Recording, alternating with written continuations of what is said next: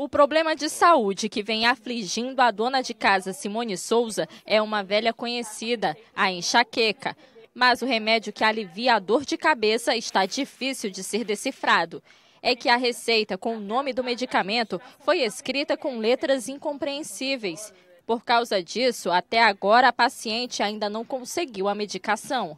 Eu acho que o médico deveria se preocupar em escrever melhor para nós, usuários termos acesso à informação do medicamento para a gente né, chegar na farmácia e saber dizer o nome. Às vezes, até as próprias atendentes que já têm um certo conhecimento com as letras dos médicos, elas sentem dificuldade. O vereador e também médico, doutor Pessoa, lembra que já existe uma lei municipal para proteger os pacientes prejudicados com a caligrafia ruim dos profissionais de saúde.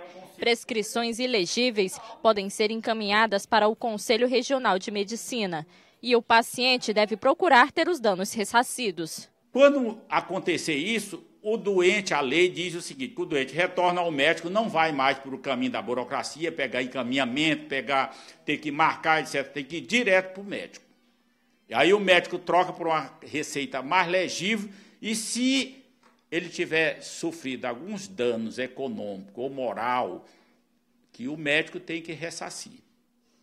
Caso o médico não queira fazer isso, é, tem outros meios, ele leva o conhecimento ao Ministério Público, que, que perdeu tempo, é, a doença se agravou por uma letra, por uma receita não clara, não legível.